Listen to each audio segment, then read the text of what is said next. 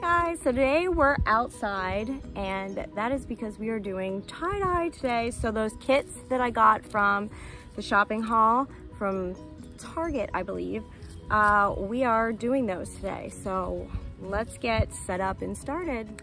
Excuse my dogs, even outside we can hear them. Okay, so the kits we have are this one and this one.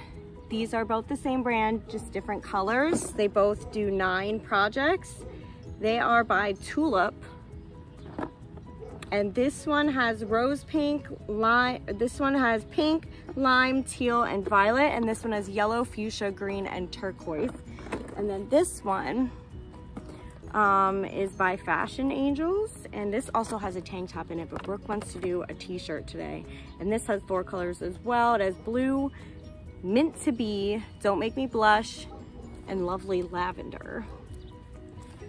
And then we have two packs of t-shirts, one for Brooklyn and one for Royce. And then I am dyeing my favorite shirt that is dingy and has seen better days and has stains on it. So I'm just gonna turn it into tie-dye so I can still wear it and not look like trash. Okay, so let's get the stations set up and then we will get into the dye. Okay, so I got the instructions ready. It says to first determine the wattage of your microwave. Mine is a low wattage. Um, then it says to soak your fabric. Either pre-wash your 100% cotton garment and leave damp or soak in a container of water for at least two minutes for the cotton fibers to completely absorb the water. Wring out excess water. Okay, so we're gonna soak all of these. Then it has you tie and secure with rubber bands and then add room temperature water to the dyes, um, to the fill lines. And then I guess shake, yeah, shake vigorously for at least one minute until dye powder has completely dissolved. And then you apply the dye and then you microwave it. Okay, so we're gonna soak all these shirts that we're gonna be using. We're just gonna do one of each for right now, um, just for this video. And then um, we'll get to tying. And I'm going to actually fill the dye off camera and I'm gonna do that in the meantime while all of these shirts are soaking. All right, so the shirts are prepped. They're damp. And the dyes are all mixed. So we're just gonna do one more wring out of this.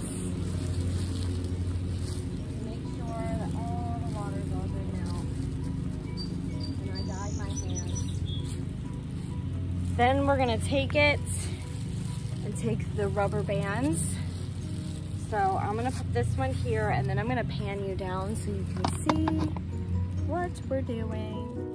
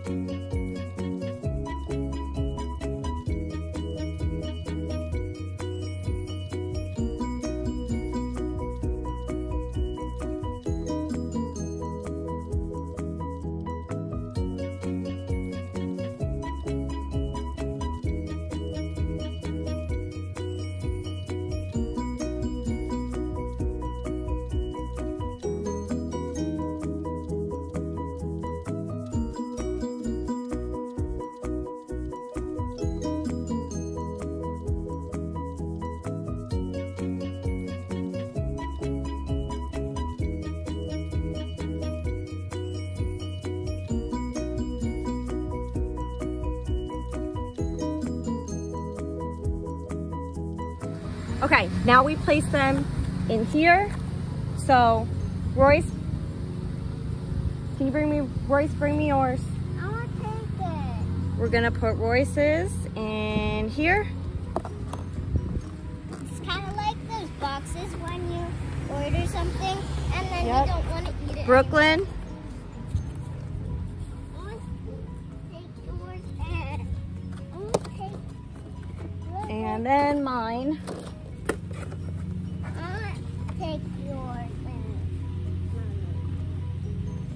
So for kids, you need to do three minutes and adults is three and a half minutes. This won't shut, mine's too big. I think I might do four with mine because mine's a long sleeve shirt and not a t-shirt. So let's get microwaving. All right, now it's time to see the first one. This one's Royce's.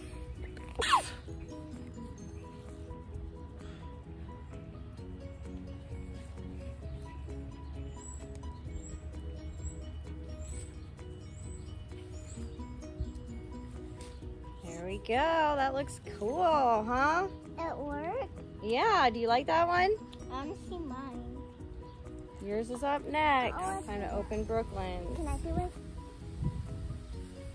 I'll take it off and then you can, I'll take the rubber bands off and you can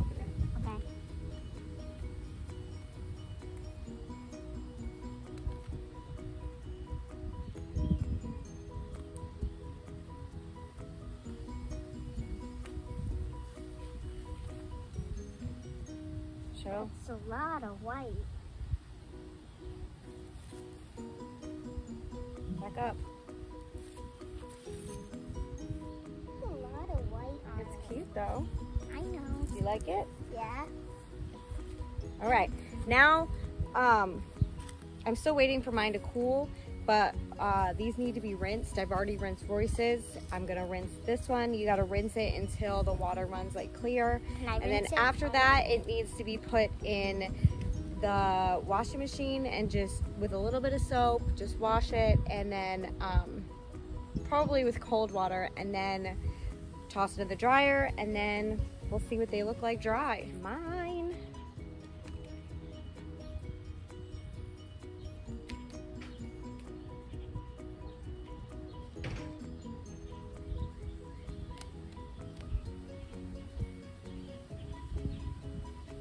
Still hot in some parts.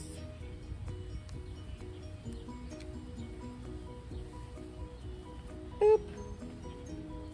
Ow, it's really hot in some parts. I'm gonna hang this up and let it cool off before I let it, before I watch it. and it didn't get the stain. Oh my God. I think I might put a little bit of dye over the stain. I don't know. Maybe I'll do that. Just put a tiny bit of dye over the stain. And then, there we go. There we go. Now the stain's gone. All right, so I'm just gonna let this sit for a little bit, cool off, and then I'll rinse this one off. And I might do a few more before I put them in the washer and dryer, so you might see more than three at the end, but we'll see. But this turned out really cute. I like it. All right, so they are finally all done and my hands are filthy. I can't get it off. The kids swam uh, right after doing theirs and uh, all the dye came off their hands. I can't go underwater in the pool because of my hair, but I did try soaking them in the pool for like a couple minutes and that didn't work. I would probably have to be there and for like an hour like they did, but at least their hands are clean and their feet, so. But I did several more. Um, let's, let me just go through, okay, this is the first one that I did for me. This is my pink hoodie, my love pink hoodie that I love. But I wanted to get, oh my gosh, and it, it covered it, but you can still see the stain through it. Not as bad, but um, yeah. I, I pretty much love how this one came out. It was looking very dingy and, but it's my favorite. It's so comfortable that I wanted to salvage it. So I tie-dyed it. so that is how that one looks. Let's see, the first one, first one, these need to go back in the dryer for a little bit longer because they're still damp. Okay, this one is Brooklyn's first one. There's a lot of white on this one. Okay, so we didn't realize that the last kit um, with the pastel colors is different. You don't microwave those. So you put them on the shirt and then you let it sit for at least four hours. It says for brighter colors to do it overnight. So that's what I'm doing. That one's wrapped in plastic and that one's outside sitting there overnight. So I can show you that one in a community post. Um, but yeah, so she put a lot of those colors on this one and that's why a lot of it is white because they just washed right out. But yeah, she said she likes it and I did make her a few more that she really likes. So um, let's see where Royce's first one is. That's not his first one. That's not his first one. This one. Okay, so this is Royce's first one. And he really likes this one. I did use one of the pastel colors on this as well, which is why no colors showed up on the inside. But yeah, that's his first one. Okay, now moving on. For myself, I did a pair of socks. These white socks I got um, from somewhere. But I hated them because they were just white and ugly. So I tie-dyed them and now I will most likely be wearing these because they are so cute now. But I just did a whole bunch of pinks, a purple, and a blue. Then for Brooklyn, I did this one, which she loves. This is another spiral. This came out a lot better than the other one because I didn't use any of the pastel colors.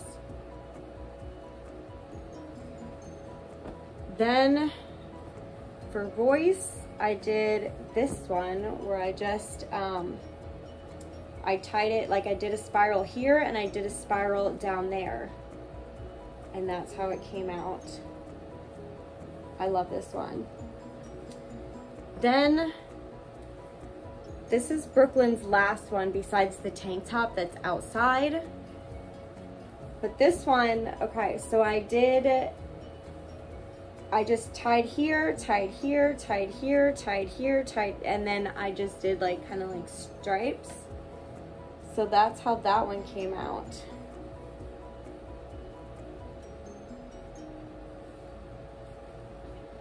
Then Royce's last two, I did the same thing with the stripes here.